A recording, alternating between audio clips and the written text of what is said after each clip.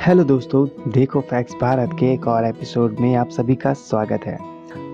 दोस्तों, आप सभी ने वो कहावत तो सुनी ही होगी कि जोड़िया ऊपर वाला ही बनाता है, लेकिन कई बार वो कई ऐसी अनोखी जोड़ियों को भी बना देता है, जो कि अन्य लोगों के लिए अविश्वसनीय होती है। तो दोस्तों, हम अब आपको देखो फैक्ट्स भारत के इस एपिसोड में कुछ ऐसी अनोखी अविश्वसनीय जोड़ियों के बारे में बताने वाले हैं, जिन्हें देखकर आप सभी को हँसी भी आएगी और ये जोड़ियाँ आपको काफ़ी अजीब भी लगेंगी।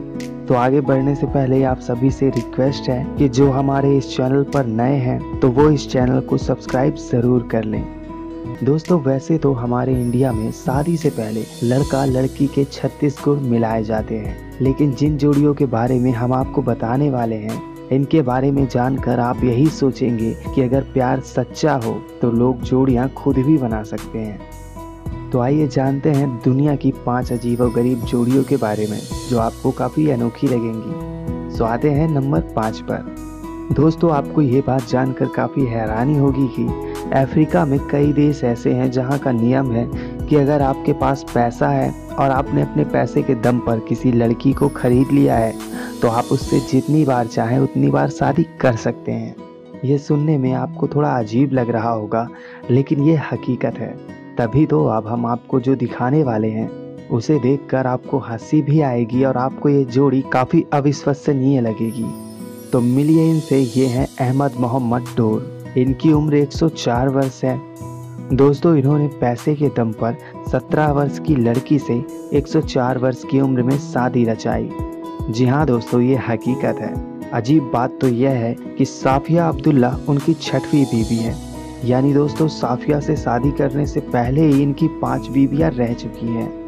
दोस्तों, ये समझ पाना काफ़ी मुश्किल है कि ये लोग आखिर चाहते क्या हैं। आखिर कैसे कोई 104 वर्ष की उम्र में किसी से शादी कर सकता है?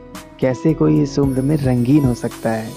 जिस उम्र में इन्हें भगवान के भजन करने चाहिए, उस उम्र में ये लड़कियों पर बोली लगाकर उन्हें खरीद लेते हैं और उसके बाद उनसे शादी रचाते हैं। ये घटना वैसे तो किसी को भी शर्मसार कर दे। तो आपकी इसमें क्या है राय? आप क्या कहना चाहेंगे इस कपल के बारे में? आप हमें कमेंट बॉक्स पर ज़रूर बताएँ। और आते हैं नंबर चार पर। दोस्तों, ऐसा कहा जाता है कि प्यार अलग चीज़ है और शादी अलग चीज़। कई बार आपने इस तरह की कहानियों को सुना होगा कि लड़कियों को प्यार किसी और से होता है और वो शादी किसी और से कर लेती हैं। याद है आपको अक्षय कुमार की फ़िल्म धड़कन, जिसमें प्यार शिल्पा शेट्टी ने सुनील शेट्टी से किया था, लेकिन शादी अक्षय कुमार से हुई थी। लेकिन दोस्तों, पीटर मौर्य पाउल ने इस परेशानी का हल खोज निकाला है। जी हाँ दोस्तों आपको बताते हैं कि मारिया लड़की का नाम है। ये कॉलेज टाइम पर प्यार पीटर से करती थी, लेकिन इनके परिवार वालों ने इन पर दबाव डालकर इनकी शादी पाउल से करवा दी। फिर क्या होना था दोस्तों?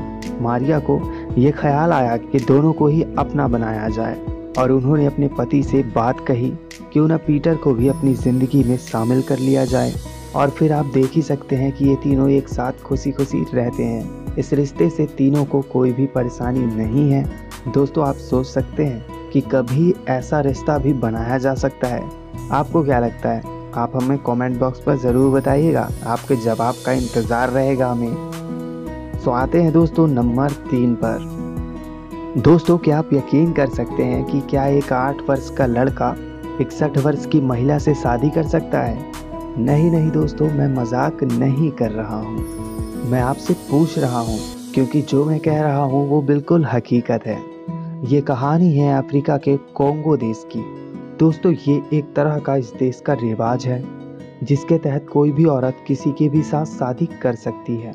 दोस्तों, ये इकसठ वर्ष की औरत और ये आठ वर्ष का बच्चा, इन महिला ने इस बच्चे को अपना नया पति स्वीकारा है।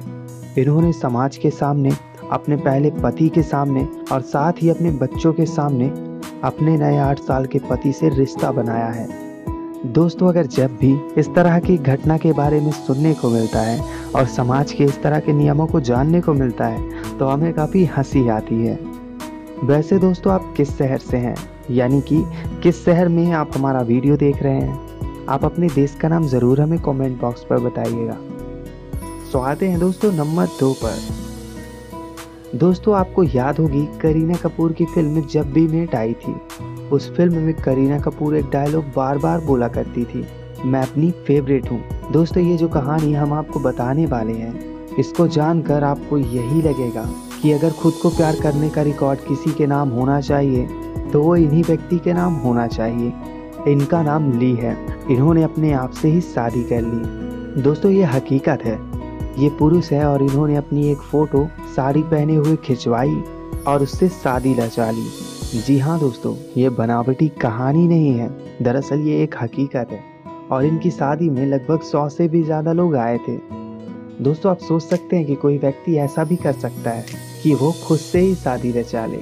खुद से प्यार करने वाली बात तो मानी जा सकती है कि कई लोग सिंगल रहना पसंद करते हैं और किसी के साथ रिलेशनशिप नहीं जोड़ते। खुद से प्यार करने वाली बात यहाँ मानी जा सकती है, लेकिन खुद से शादी करने वाली बात ये काफ़ी अजीब लगती है। और काफ़ी हँसी भी आती है। तो आइए आते हैं नंबर एक पर। दोस्तों, इस कहानी को सुनकर यकीनन आपकी आँखें भर आएँगी। आप यकीन कर सकते हैं, एक लड़की है जिसकी उम्र महज नौ वर्ष है और वो कैंसर जैसी बड़ी बीमारी से जूझ रही है। लेकिन उसकी बचपन से ही एक अनोखी ख्वाहिश है। वो एक दुल्हन की तरह सच सवर कर शादी करना चाहती थी। इस बच्ची के बचपन का सपना शादी करना ही था। इसे जब डॉक्टर ने कहा कि अब आपके पास काफ़ी कम वक्त बचा है तो इस लड़की के सपने को पूरा करने के लिए इसके माता पिता इसकी शादी करवाने के लिए जुट गए। और वो किसी भी हाल में इसकी शादी करवाना चाहते थे, क्योंकि उनकी बेटी की आखिरी इच्छा यही थी कि वो शादी कर सके। दोस्तों, उसी हॉस्पिटल में जॉर्ज क्रिक्स नाम का एक लड़का था। वो भी कैंसर जैसी बीमारी से ग्रसित था।